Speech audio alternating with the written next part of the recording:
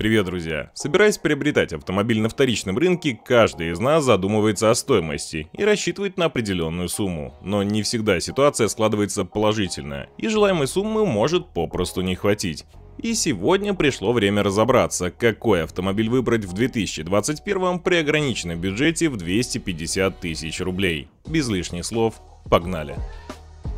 На десятой строчке неожиданно для всех Saab 9.3. Шведские автомобили в свое время удивили автолюбителей своим мощным двигателем и неплохими характеристиками. Да, эта модель не получила широкой популярности в России, но пользовалась спросом среди любителей необычных автомобилей. Конечно, отзывы о машине разноречивые, но в любом случае, приобретая Saab 9.3, владелец может получить автомобиль с мощным двухлитровым двигателем на 175 лошадей, хорошим салоном и вполне себе качественными материалами отделки. Из широко известных проблем можно отметить электрику. Как правило, автомобили с пробегом будут с немного поврежденной обшивкой салона и некоторыми проблемами по электрической части. По итогу ничего критичного, в принципе все моменты можно быстро устранить, если приложить прямые руки. За обозначенный ценник в 250 тысяч вы вполне себе сможете найти неплохой Saab 2003-2004 годов выпуска. Но оговорюсь сразу, следом в рейтинге модели куда поинтереснее. Едем дальше. Следом в рейтинге Peugeot 206, и стоит сразу отметить, что данная модель считается одной из самых успешных за всю историю французского автоконцерна. 206 не только дешевый вариант, но и неприхотливый и выносливый автомобиль. Даже 207 и 208 модель не пользовались таким спросом, как простенький Peugeot 206. Автомобиль перестали производить с 2009, но это является плюсом, потому как более новые автомобили нельзя найти по стоимости до 250. После 2009 года для стран СНГ стали производить вариант седан, но лучше посмотреть на хэтчбэк. Они производились во Франции и в отличие от седана имеют гораздо большую надежность. В любом случае машина будет оснащена двумя движками, 1.4 или 1.6. Отмечу, что оба двигателя достаточно неплохие и выносливые, но многие рекомендуют выбирать 1.4 на 75 лошадок, он считается более надежным. Правда, мощности будет маловато. Из стандартных болезней можно отметить заднюю балку и плохого качества автоматическую коробку передач. Подшипники в балке живут не более 80 тысяч. Как правило, после поломки балку полностью меняют. Модели на автомате лучше не рассматривать вообще. Ломается он часто и плохо подается ремонту. Поэтому только механика и только 1.4. За 200-250 тысяч рублей вы найдете много отличных вариантов на вторичке примерно 2007-2009 годов выпуска. Но в любом случае имейте в виду, что покупка автомобиля на вторичке дело всегда рисковое. И перед тем, как совершить сделку, просто необходимо проверить автомобиль по всевозможным базам. Сейчас на рынке множество платных сервисов для проверки, но ребята из Адоперию дают возможность сделать ее абсолютно бесплатно. Для этого достаточно вставить ссылку на объявление с любого сервиса и вин-код автомобиля, который вы можете уточнить у продавца. По итогу вы бесплатно получаете огромный объем информации. Пробег, ДТП, залоги, такси и самое главное полную историю продаж от одного владельца к другому. В общем, сервис действительно надежный и очень полезный, поэтому рекомендую. Ссылка, как всегда, будет в описании, ну а мы двигаемся дальше. На восьмой строчке более рисковый, но более желанный аппарат – Audi A4. Это наиболее популярная модель в Российской Федерации. Данная модель давно появилась на российском рынке и вокруг нее много и положительных, и отрицательных отзывов. Что ж, в любом случае ее можно рассчитывать как вариант до 250 тысяч. Сразу к минусам можно отнести ходовую часть. Для облегчения кузова немцы использовали алюминиевые сплавы, что отрицательно сказалось при езде на российских дорогах. Существуют даже целые мифы, что ходовая часть служит не более 20 тысяч. Это, конечно, заблуждение, хотя она подвержена поломкам, но спокойно берет порог в 100 тысяч километров. В зависимости от года выпуска можно найти машину с движком 1.6, 1.8 и даже 2,5-литровый дизель. Каждая силовая установка по-своему неплохая, но с дизелем лучше быть осторожнее, так как он просто дороже в обслуживании. В рамках 250 тысяч вы смело найдете хороший аппарат 2000 года. Ожидаемый пробег порядка 200-300 тысяч километров, поэтому перед покупкой обязательно проверьте все ее состояние на станции техобслуживания.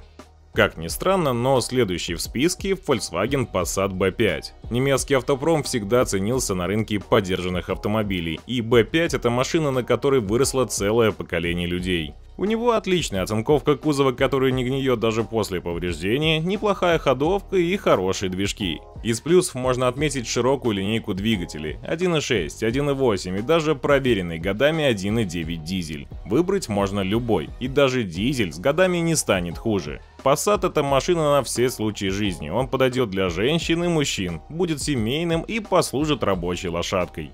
Видимо, в то время немцы решили вложить в модель максимальное количество прочности, сделав машину для целых поколений. Из минусов отметим относительно недешевые запчасти. В крайнем случае можно воспользоваться услугами авторазборок и немного сэкономить. За 250 тысяч рублей можно выбрать огромное количество автомобилей, все они будут в разном состоянии и с разным пробегом. Но, как правило, этому автомобилю будет точно лет за 20 на шестой строчке Chevrolet Aveo, и выход его на российский рынок можно было заметить по большому количеству появившихся пестрых машин на улице.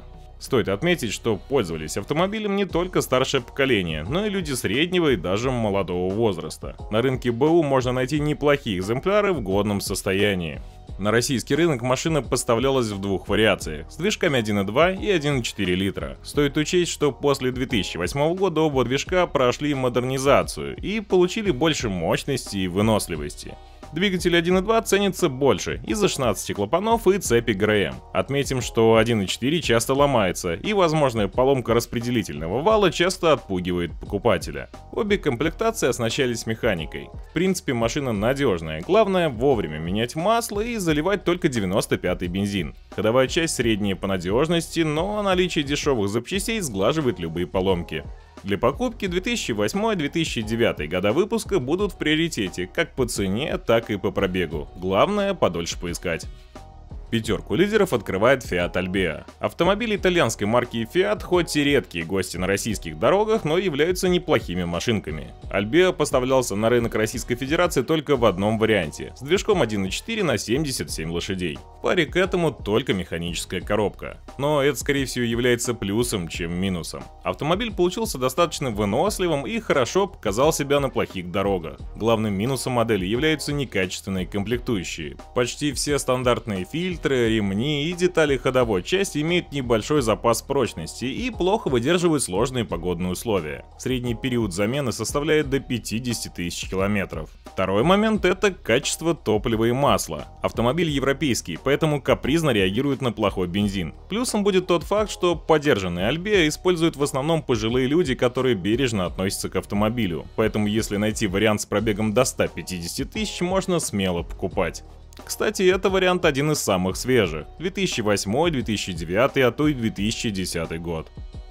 На четвертой строчке Opel Corsa D, и это один из лучших вариантов из европейского автопрома. Машину нельзя назвать бюджетной, но найти недорогой вариант вполне можно. Вы получите качественный интерьер, хорошие материалы отделки и даже сегодня он выглядит прилично. Добавляем к этому европейское качество и получаем один из лучших вариантов. Стоит отметить, что младше 2008 года автомобиль найти не получится. Большинство проданных на российском рынке моделей были в минимальной комплектации. В большинстве случаев это будут модели с однолитровыми двигателями мощностью в 60 лошадок, но можно найти и 1.2, который более мощный, и 80 лошадиных сил. Кстати, крайний вариант оснащался автоматической коробкой с роботом, лучше не связывайтесь с подобной машиной. Из минусов отметим невысокое качество расходных запчастей, таких как сальники, датчики и прочее навесное оборудование. Они будут ломаться с завидной периодичностью, благо стоимость запчастей не такая высокая. Тройку лидеров открывает Ford Fiesta 5. Недорогой компактный хэтчбэк, имеющий надежность, комфорт и безопасность. Согласно статистике, запросов этой моделью интересуются очень часто, да и предложений достаточно, особенно в возрастном диапазоне 2002-2008 годов. Разумеется, разброс цен впечатляет, но это особенность практически всех поддержанных автомобилей с большим объемом предложений. Но самые дорогие экземпляры стоят порядка 300 тысяч, а за 150-180 можно найти машину, на которой будет не стыдно выгодно ездить. В районе 250 тысяч находится около 45% всех предложений, так что возможности выбора автомобиля в приличном состоянии довольно велики. При этом встречаются и пятидверные, и трехдверные модификации, а последние можно назвать даже более практичными. Fiesta – надежный автомобиль, который не отличается особыми техническими изысками. Качество лакокрасочного покрытия и оцинкованного слоя на высоте, есть неплохой пакет безопасности и внушительный список моторов и трансмиссий. Так что если автомобиль не был в передрягах, о целостности кузова можно особо не беспокоиться. Из-за малого клиренса стоит внимательнее осмотреть днище, оно часто бывает проблемным. Все двигатели обладают хорошим ресурсом, а из трансмиссии следует опасаться только капризно роботизированной коробки. С остальным все по красоте. На второй строчке Hyundai Accent. Один из лучших вариантов корейского автопрома. Это просто неубиваемый автомобиль для широких масс. Акцент давно завоевал сердце российского водителя. Недорогие запчасти, хорошая ходовка и достойная комплектация. Корейцы действительно постарались. Стоит отметить, что автомобиль не отличается маленьким расходом топлива, и поддержанные машины могут кушать более 12 литров. Из минусов, конечно, отметим плохую шумоизоляцию. Основным движком стал полуторалитровый бензиновый агрегат, и он неплох. В целом, акцент это отличный вариант для первого автомобиля. Он подойдет для небольшой семьи с ребенком или поездок на работу. Да, на многое автомобиль не способен, но свои прямые обязанности он точно будет выполнять. Ну вот и первое место, и на нем, конечно, Renault Logan, один из легендарных автомобилей рынка Российской Федерации. Данную модель покупали все категории граждан. Машина завоевала своего владельца неубиваемой ходовой частью, просторным салоном и багажным отделением, что являлось приоритетом для семей и дачников. Но его надежность была и минусом. Автомобиль часто использовали таксисты. Модель имеет скудный интерьер и минимальную комплектацию. Все было упрощено для уменьшения конечной стоимости. В качестве силовых установок были использованы движки 1.4 и 1.6 по 75 и 87 лошадиных сил. Все запасные части можно приобрести на любом автомобильном рынке, а при выборе автомобиля главное изучить историю, чтобы не нарваться на автомобиль из-под такси. Что ж, друзья, как-то так. Пишите в комментариях, какой автомобиль вы бы добавили в этот рейтинг и на какое место. Ну а также лайк поставить не забудьте на канал подписаться, если еще этого не сделали. Впереди только самые актуальные автомобильные новости и крайне интересные рейтинги. Вы были на канале Про Авто. До скорых встреч.